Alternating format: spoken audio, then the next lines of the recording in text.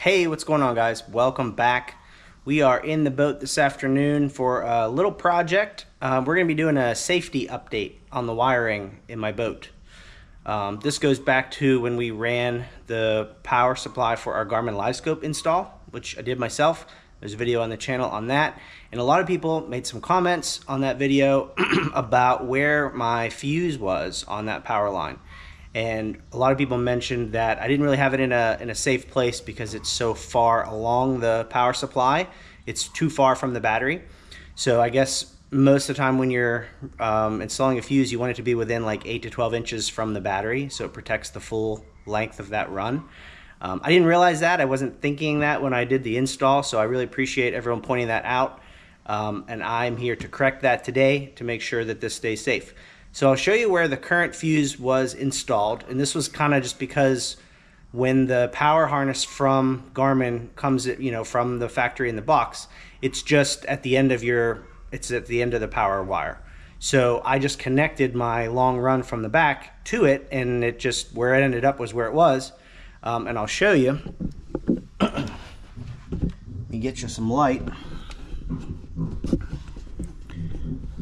It's right here in the locker, which I thought was a good spot because it's accessible if I need to get to it. And it was just kind of tucked up inside the locker. but that's a good 12 feet, let's say, from the battery.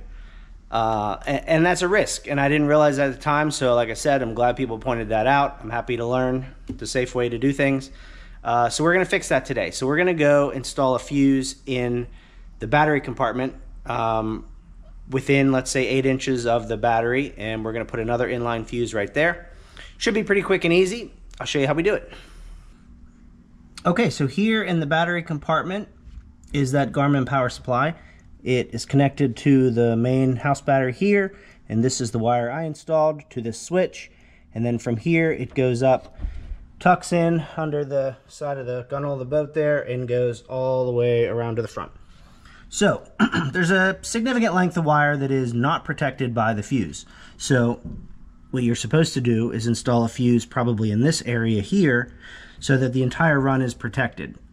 That makes sense looking back on it now, but it just didn't occur to me at the time. Um, so we're going to fix it. So I'm going to disconnect this wire, probably cut it about here, and we're just going to in insert an inline fuse right there um, I'll double check to see, I believe it's a 10 amp uh, fuse that we'll install, but I'll just double check and make sure I have that right in the Garmin manual.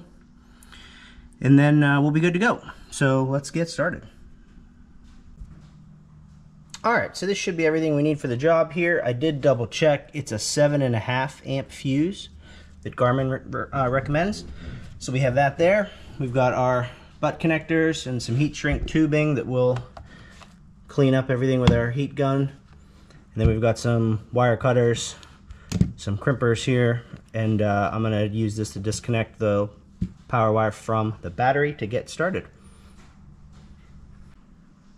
All right, well, I clipped my power supply, disconnected from the battery, snipped it. Um, I'm going to go ahead and get this inline fuse on one side and then we'll see if we can get it installed in the battery compartment. I may need to take that other side off of the switch.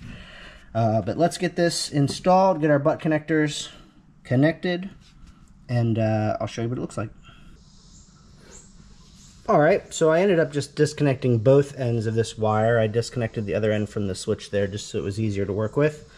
And I got my inline fuse attached on both sides with some heat shrink. Here we go. And all we have to do now is plug or install this back on the battery and then on the switch. Okay, we have successfully installed our new inline fuse much closer to the battery, so we should be that much safer. Now you might be asking, what about the other fuse? And what if there's two inline fuses on the same run? Well, as far as I can tell, it's just going to be redundant. Uh, I mean, the biggest drawback, I guess, is if one of them blows, I got to check both to find out which one it was. Uh, but it's, I mean, I'm assuming it's always going to be the one next to the battery. So this one up here is probably just uh, redundant and probably not going to cause any problems. But, you know, leave me a comment or make a suggestion if you think it's going to be an issue. I may, just because I'm OCD, I may eventually go back and and remove it and splice the line together again. But it's one of those things, you know, it's working right now. I don't want to have to try to find the extra six inches of wire back there somewhere. I don't know if I have enough extra wire back there. So, you know, I'm going to leave it for now. Drop me a comment. Let me know if you think that's a bad idea. Otherwise, uh, thanks for joining. Again, thanks for all the comments to bring the safety concern to my attention. I like learning things and I like keeping the boat safe. I'll catch you in the next one.